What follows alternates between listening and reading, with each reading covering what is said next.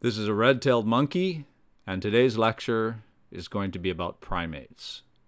And I want to do as usual and take you to various places in the world where I have been able to interact with and record primate behavior. And that place that I want to start with is Kibale National Park in Uganda. Now, a number of McGill professors worked here for many years and it has the highest primate density in the world. Let's watch what this colobus monkey does here. He's trying to get across a forest gap and he doesn't want to go down onto the bottom of the forest. The gap is too big to jump just straight up, so he uses the tree like a pole vault. He or she, of course. And here is another one that shows even more effectively how they're essentially using this tree as a tool, a tool to get around. Colobus monkeys are famous for these kind of aerial skills, and here you see some very young ones that are learning their way around uh, trees and jumping and playing around and getting ready for those big jumps that they will do when they are adults. There are many species of monkeys in Kibale National Park. Here's another colobus monkey. This is a black and white colobus monkey. Black and white colobus monkeys spend a lot of their time just hanging around in the trees uh, and just chilling so here are some that are uh, scratching an itch here and there, and otherwise just having a nap and feeling good about themselves. Now, the reason they spend a lot of time hanging around and not doing much is that they're leaf eaters. Leaves are very hard to digest, and so they fill up their gut with leaves, and then they just kind of chill and let the digestive process work. Certainly, the greatest thrill for me in Kibale was to walk through the forest and hear the sound of wild chimpanzees and then to see them right alongside the trail. Now, chimpanzees, much of the time, just kind of chill as well, at least during the middle of the day. This particular chimpanzee is assessing what's going on around it and trying to understand what all of the members of its troop are doing. And you just can't look at a chimpanzee and not see the kinship between ourselves and them. Of course, one of the key features of that kinship is an incredible intelligence. And you can almost look like you're looking at a, another human being that is assessing everything around it in the same, almost the same complex way that we do. That's why today's lecture will merge primates with a discussion of intelligence and the brain and how the brain develops, what the different functions and anatomy of the brain is like and we can discuss how a complex brain enables one to do complex behavior. Here's a mother chimpanzee and her baby. Sometimes, when the males are off doing other things and the rest of the troop, uh, the mothers will stay back and just kind of hang out with and look after their babies as a smaller group. And here's one that's grooming its baby, rather aggressively, of course. Now, another thing you might interpret as tool use in chimpanzees is their building of shelters. So here is a, two views of the exact same chimpanzee, one from high above and one from low down, that has built itself a day nest by breaking a bunch of branches down, laying them out, and then just lying on this to rest during the middle of the day. They also build larger, more sophisticated shelters every night. Again, tool use, although not exclusive to primates, is certainly something that has been developed to an extreme extent within primates. There isn't much primary forest left in Uganda, and you can see the little patches running like a string of pearls there beside the lakes. And so let's go from Kibale National Park, where we look at chimpanzees, to the Bwindi Impenetrable National Park, where these very closely defined borders to the park that are protected on the inside because in Bwindi National Park you have gorillas.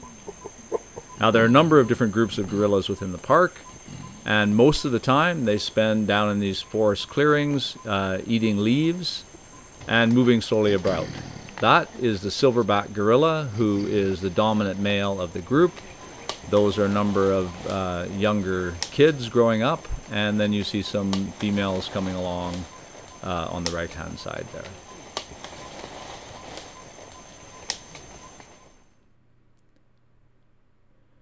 Like most of the other primates, at least the apes, that is, chimpanzees, orangutans, and gorillas, gorillas just spend much of their time just kind of hanging out and munching on vegetation.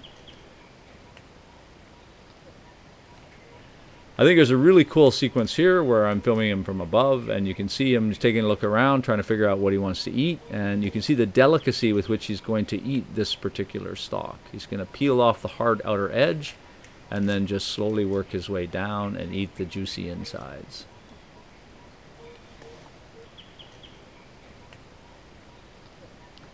There are tons and tons and tons of insects around. I don't think they were biting insects because they didn't seem to be bothering the gorillas, and they certainly weren't bothering us, although they were everywhere. But you could see them just all around all the time, and the uh, gorillas just ignored them. Just like the other gorillas in the group, the big silverbacks don't do much most of the time.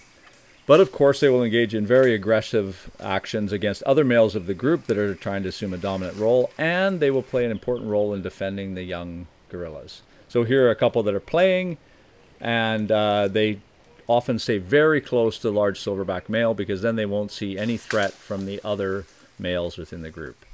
But when they do go off, just like all primates, including humans, they can go off on their own and get in a lot of mischief and uh, while the adults are sleeping. I said earlier that the big silverback male gorillas don't do much much of the time, but there was an instance that we were watching where uh, a female made a loud noise, implying that maybe there was some danger from the adjacent males, and the big silverback came over and did an aggressive display. A lot of the habitats that primates live in, particularly the great apes, are highly endangered. And so we, as we watch this howler monkey in Argentina, I want to make the point that there's a lot of interactions between humans and primates in general, but great apes in particular. In fact, this forest that you're looking at here burned completely to the ground this year, destroying all of the habitat for the howler monkeys. Now in Panama, you see a lot of other interactions between humans and primates. In particular, humans will feed the primates. These are called Geoffroy's tamarins, and they are on a feeder where people put out fruit for them. Uh, so because they're fun and cute to have around. Of course, they can be annoying at times too, as you'll see in a minute when I take you back to Uganda and Kibale National Park to the baboons. So baboons tend to get into the garbage. I watched a male baboon pulling on the water spout from a large water tank, essentially tearing the water spout out of the tank and destroying what was a very expensive water tank. So these uh, baboons are a major problem and you have to lock your doors all the time and you have to make sure that you keep everything of value away from them. And that is true uh, in many places in the world. I've also had that uh, occur to me in Indonesia where you had to protect yourselves. But there can be other, some other interactions where uh, this is a bluish monkey, it's called, and it's actually from the Congo. And it was kept on a private island because it was a rescue monkey, and uh, they had a game that they played, the keeper and uh, the monkey. There's a vervet monkey in South Africa that seemed to be very intrigued by the sound of my camera. And so it was almost playing like that sort of you know cat and mouse game you play with your cat, uh, where it was trying to see what was going on and pretending like it was uh, going to get me. Now I want to close again with some of the positive interactions between primates and humans. That is potentially ecotourism. This is my brother. And he came with me to Uganda and saw chimpanzees, and he also saw gorillas. Now, in Bwindi Impenetrable Forest, it's a very important place for conservation because the gorillas bring a lot of money into the local economy from tourists that come to watch the gorillas. Makes me wonder what's happening right now when, of course, tourism will be way lower. Now, here the guide is trying to keep my brother safe here, and because you're supposed to stay away from the gorillas, but the problem is they're moving around so much and they're spread out that it's really hard to do. Now, here you see an interaction between several different males.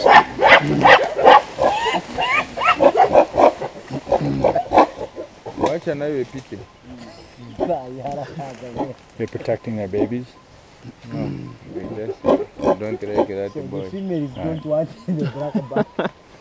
Wewe hapo.